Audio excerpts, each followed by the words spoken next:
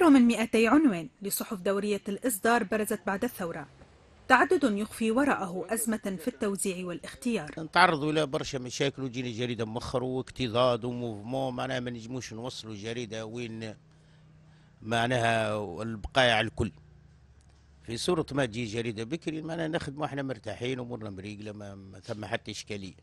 وكثرت برشا عناوين علاش الجرايد رخت ما عادش فيها معناها من قبل بعد الوقت اللي بعد الثورة مشات هي مات وبعد تو بدات ترخ بشوي بشوي. جريدة ثم إدارة فيها ثم صحفيين ينتجوا لكن بعدين مهمش هما اللي مش يقوموا بإيصال الجريدة لل- للناس. الموزع على مستوى كل جهة يكون عنده شبكة كبيرة من الناس اللي هما سور فوندور اللي هما يتعاملوا معهم مباشرة وعندهم نسبة مئوية من المرابيح وهنا الإشكالية الكبيرة.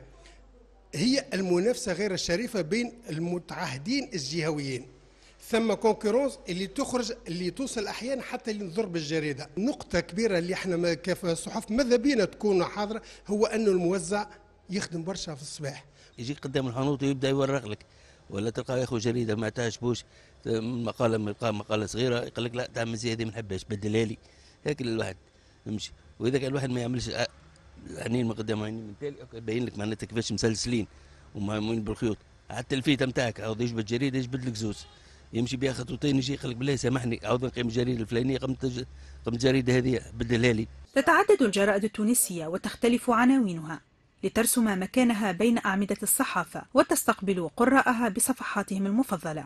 تبعوا برشا السياسة والأخبار اللي قاعدة تصير في تونس. والله نقرأ كثير رياضه وبعدنا كل شيء نقرأ. نتبع العقارات أكثر حاجة و... ونخدم على روحي هيك هو ذاك شو نتبع ما عنديش حتى فكرة. نقرأ العناوين وبرا معناتها رياضيه أول حاجة الكرة. هاي. وشوية سياسه شوية مش برشا. Bon page الحوادث هذه معروفة هذه. وال page نتاع السياسة. يمكن هيك أغلب حاجة معناتها. هذه هي صاحبتي هي الجريدة. ديما نقرأ كان الصحافة. تذمر من غلاء أسعار الجريدة. فرغم تعدد الجرائد التونسية إلا أن المواطن لا يستطيع أن يلم بجميع الصحف واكتفائه بالنظر لعناوينها فقط. بالنسبة لي أنا ناخذ زوج جرايد في النهار ياسر. غالي في تونس غالي السعر نتاعها غالي بالباب بالباب جريدة la presse surtout la presse غالية شوية. قاعدة تغلي. غالية بوار تو. ماهيش في المتناول بصراحة. لو كان جات هيك كيما نقولوا إحنا في عامة الشعب ينجموا يكسبوها م- تلقاهم كان الكبار اللي عندهم شهريات ولا حاجة فهمني؟ أما إحنا تنجم تقول آه، هاكا تلقاش الجريدة مع عند صاحبك تفكها له هكا وتتفرج عليها. غالية. علاش غالية؟ على خاطر ما فيهاش محتوى ما فيهاش. باش تقرا بها. تسمى غالية شوية. 700 غالية. غالية شوية. Normalement 500 فرنك معناها. ثم جرايد ب 750 و 600 غالية. تختلف الجرائد التونسية عن بعضها البعض باختلاف توجهاتها السياسية وأبعادها الفكرية.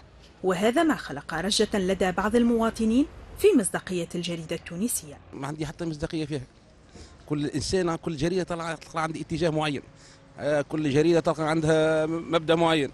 كل يوم كي غدوه كيما جميع الجرايد فهمتني؟ جرايد من جرايد ومحررين من محررين فما عباد نعرفهم أنا. بالوقت عرفتهم شكون الباهي وشكون مشون فهمت؟ معناتها كلام صحيح وشكون لا. أما في الجملة يزيدوا شوية فهمت؟ نشكك. شطر صحيح وشطر غلط. فمش حاجة صحيحة. فما جرايد قاعدين خارجين توا. يعني آه، ملي تقرأ الأرتيكل ما تصدق حتى شيء وتفهم اللي هو ما ما فما آه، حكاية فارغه ثم شوية شكوك في بعض المعلومات. ما ثماش صراحة كبيرة؟ المادية تغلب معناها فهمت؟ الحياد في الجرايد ما فماش.